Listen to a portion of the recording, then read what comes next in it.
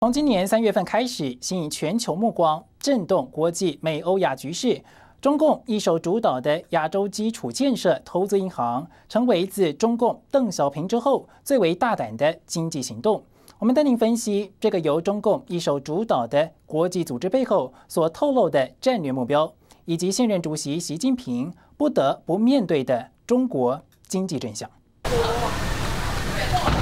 三月即将跨入四月的最后一天，台湾府院行政团队很不平静，就是因为总统马英九忽然一声令下，台湾要加入一个新的国际组织——亚投行。透过这个两会的管道，表达我们参与的意愿。行政院长毛志国先知到立法院报告，晚间请出财政部以陆委会帮忙背书。不过不到一天的仓促行事，却引来在野党团一阵哗然。历经福茂黑箱的学生团体更是无法接受。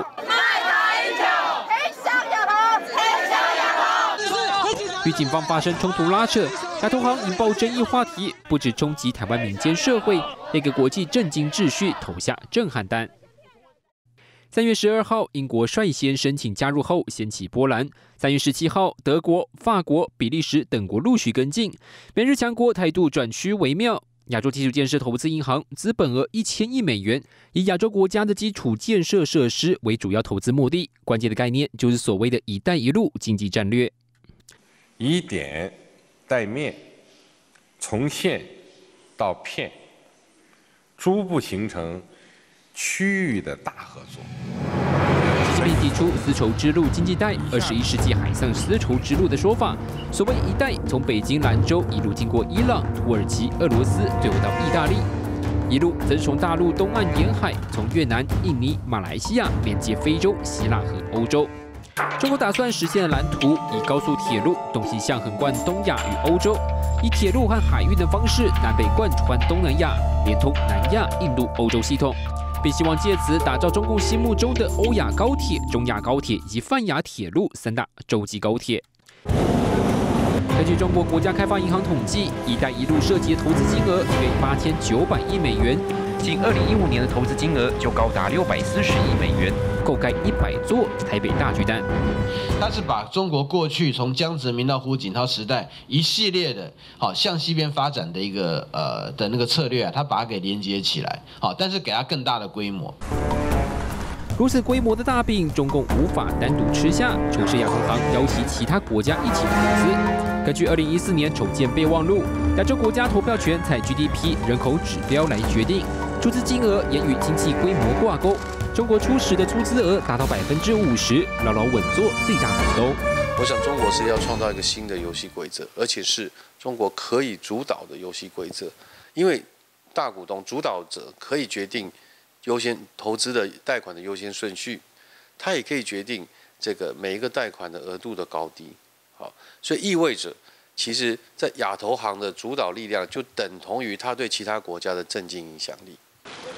其实外界普遍看好，不过亚投行的催生时间点。就是在二零一三年，习近平提出丝绸之路的将近一年之后，有学者分析，之中不乏中共内部遭遇到的经济困难挑战。我的看法，我不认为说这个呃亚投行这个东西是中国它的实力崛起到强大到说其他国家纷纷倒向中国阵营，而且更某种程度更表示说是中国它自己本身原来一带一路透过双边方式操作啊，所出现到遇所遇到重大困难，也因此想要去透过亚投行这边来强化它的这个一带一路的投资的这样的一个位。中国政府其实呢，它是有迫切的需要来开创新的门户，好新的管道，来疏解这个国内这些过剩，好或者说投资配置无效率这样子的压力。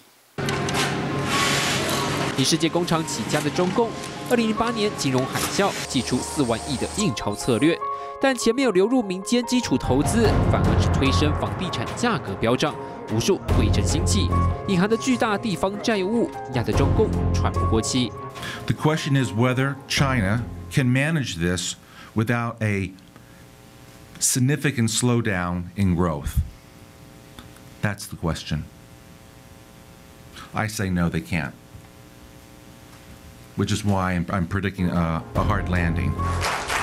习李上任，面对无以回天的经济下行压力，试图以十三亿中国内需市场的口号吸引外资金流支撑发展。不过，情况是 GDP 保期困难，一旦经济反转硬着陆，包括贫富不均以及资源掌握少数人手中等长期压制的社会问题，将会一夕爆发。吉利选择西向发展，联合欧洲、中亚等国做突破包围，恐怕也是不得不的选择之一。呃，中国它现在经呃，他如果要确保他国内的经济稳定，他首要做的就是要提振它的内需市场。可是它的内需市场无法起来，很大的原因就是来自于。呃，因为他的国内贫富不均，然后导致多数的中国人其实并没有办法公平的分配到经济成长的果实，那也导致这一些。中国这一部分的中国人，他们的消费力没有办法激发出来。那所以说，为了要解决这个内需不足的问题，习近平他才想到了可以透过“一带一路”跟亚投行去寻求东南亚市场跟中亚市场来填补中国这一块不足的内需。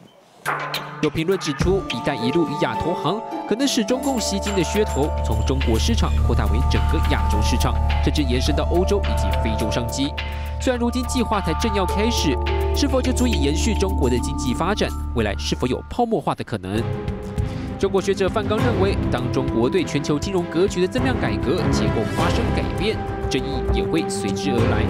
而澳盛银行大中华首席经济学家刘立刚则认为，如果只是借着“一带一路”单纯输出本国的低端产能，各国抵制的力量就会快速增长，计划就很难长期走下去。而耶鲁大学经济学系教授陈志武则表示，“一带一路”和中国要降低经济对投资依赖度的目标背道而驰。中国家户以及企业总负债是 GDP 的二点八四倍，如果投入了新的投资，又会推升中国负债率到高峰。我想它会不会继续的一帆风顺的运作哈，会取决于说，呃，它未来会怎么样的这个运作，就是它的治理结构，还有它的整个决策，是不是如同现阶段所说的是可以是公开的、透明的、开放性的。如果在有失国格，就在台湾政界热议用什么适当的名义加入亚投行之际，民间团体质疑声浪，学生群中的抗议呐喊似乎已经无济。于事，或许也更应该了解中共的实际经济现况，才能在国际组织的阵仗中取得先机。